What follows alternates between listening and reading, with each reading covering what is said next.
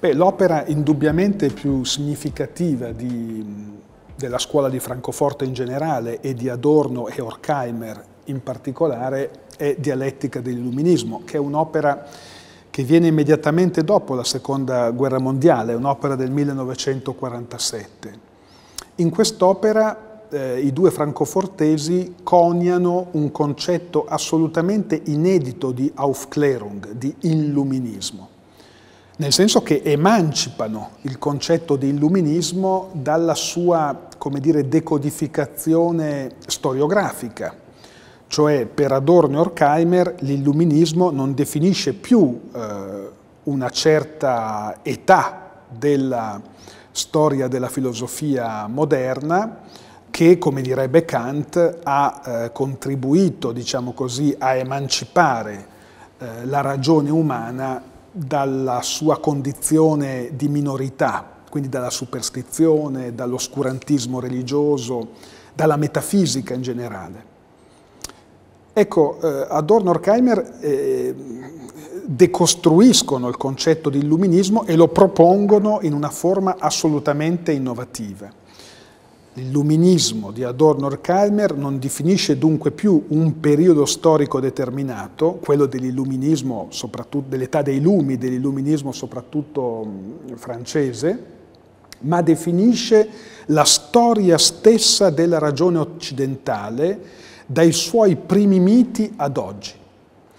E quale sarebbe il filo rosso che collega eh, la, tutta la storia del pensiero occidentale, chiamata da Adorno e Horkheimer illuminismo, quindi noi siamo nel tempo dell'illuminismo, poiché l'illuminismo non è una parentesi storica, ma è la storia dell'Occidente.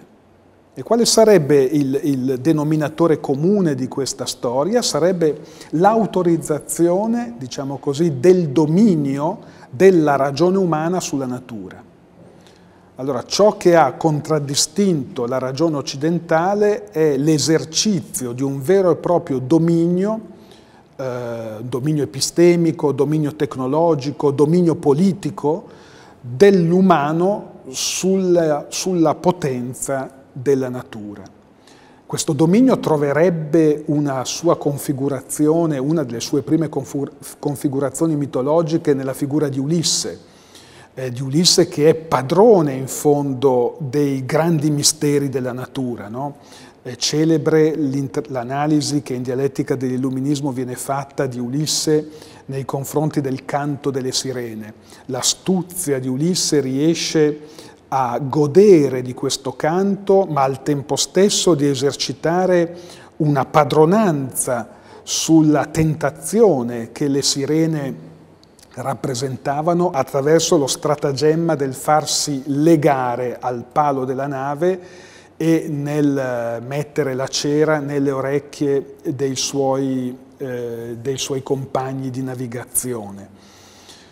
Ma il punto è che questo dominio della ragione sulla natura, quindi della ragione che i francofortesi definiscono strumentale e pragmatica, no? della ragione che non pensa più alla verità, che non pensa più eh, marxianamente a rendere la società più giusta, la società più vicino, diciamo così, alla verità, nel combattere le diseguaglianze della società. Dunque una ragione che non si occupa più della verità, ma si occupa di esercitare il suo dominio sulla natura eh, e di fare della natura, come dirà Heidegger negli stessi anni, fondamentalmente solo un luogo di risorse da sfruttare. Quindi questa dimensione antropocentrica della ragione illuminista, così come viene descritta da Horkheimer e Adorno, porta con sé la conseguenza di una seconda natura. Il dominio della ragione sulla natura produce nell'uomo una seconda natura che tende a separare l'uomo dalla stessa natura se volete è la rappresentazione conformistico, borghese, robotica, eh, amministrativa dell'uomo che si è, come dire, allontanato, perso e alienato in una corazza appunto la seconda natura, dal suo contatto eh, mitico primario con la natura. È in questo contesto che va presa la mh, celebre analisi dell'industria culturale, perché l'industria culturale è esattamente un prodotto della ragione illuministica, di questa, di questa seconda natura, cioè eh, un grande francofortese, sebbene in una posizione molto originale rispetto alle mh, scelte dell'istituto di Francoforte, come Benjamin, ha scritto in quegli anni un libro di straordinaria importanza dal titolo L'opera d'arte nell'epoca della sua riproducibilità tecnica. Ecco, la riproducibilità tecnica dell'opera d'arte implica necessariamente un fenomeno di massificazione, di mercificazione, di despiritualizzazione dell'opera che fa perdere all'opera la sua potenza critica ma questo si può intendere solo se si coglie il significato della seconda natura. La seconda natura è una forma di imprigionamento, eh, di alienazione, di seconda alienazione della vita umana che resta vittima della sua stessa ragione strumentale.